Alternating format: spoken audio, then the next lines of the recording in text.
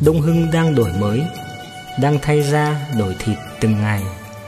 Phong trào xây dựng nông thôn mới đã làm chuyển biến căn bản cơ cấu nông nghiệp của địa phương. Nông thôn mới là một khẩu hiệu, một lời hiệu triệu và được toàn dân hưởng ứng tham gia.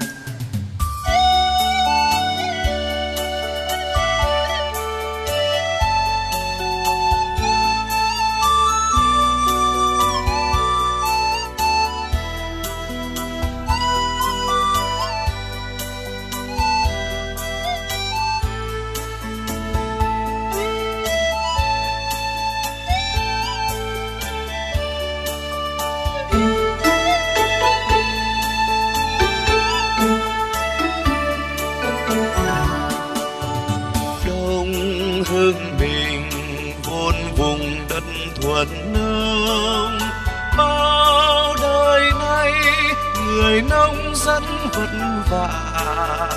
Cây lúa đồng canh, ruộng thì mênh mông. Phải đổi mới thôi, nhà nước nhân dân cùng là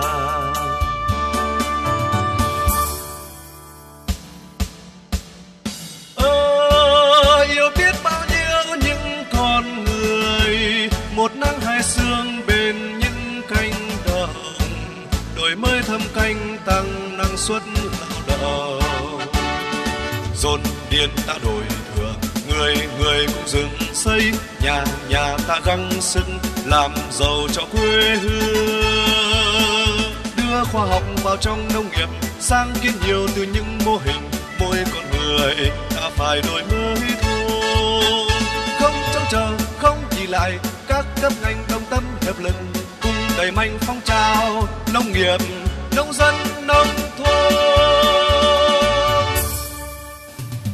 Làng quê mình bây giờ năm đổi thay, đường bê tông trải dài từng ngõ nhỏ, tiếng loa vang bên sân nhà văn hoa, trường học khang trang tóc học sinh vui đùa.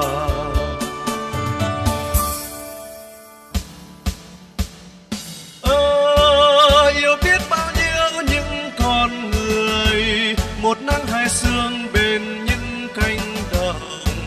Đổi mới thâm canh tăng năng suất lao động. Dồn điên đã đổi người người cũng dựng xây nhà nhà ta gắng sức làm giàu cho quê hương. Đưa khoa học vào trong nông nghiệp sáng kiến nhiều từ những mô hình. Mỗi con người ta phải đổi mới thôi không trông chờ, không chỉ lại, các cấp ngành đồng tâm hiệp lực, cùng đẩy mạnh phong trào nông nghiệp, nông dân, nông thôn.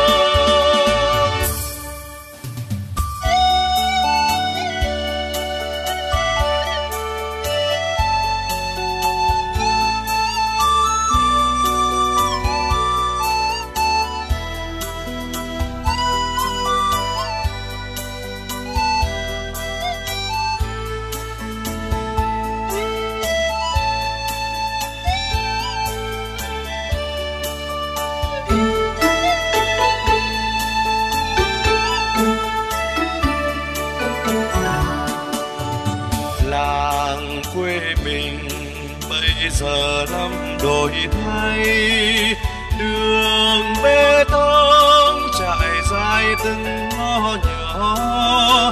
Tiếng loa vang bên sân nhà văn hoa, trường học khang trang, từng tốp học sinh vui đùa.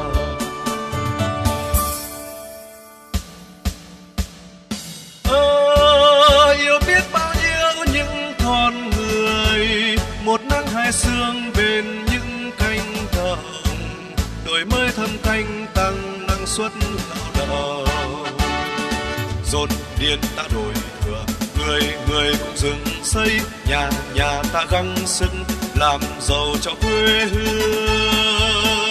Đưa khoa học vào trong nông nghiệp, sáng kiến nhiều từ những mô hình, mỗi con người ta phải đổi mới thôi không trông chờ, không nhìn lại. Các cấp ngành đồng tâm hiệp lực, cùng đẩy mạnh phong trào nông nghiệp, nông dân, nông thôn. Cùng đẩy mạnh phong trào nông nghiệp, nông dân.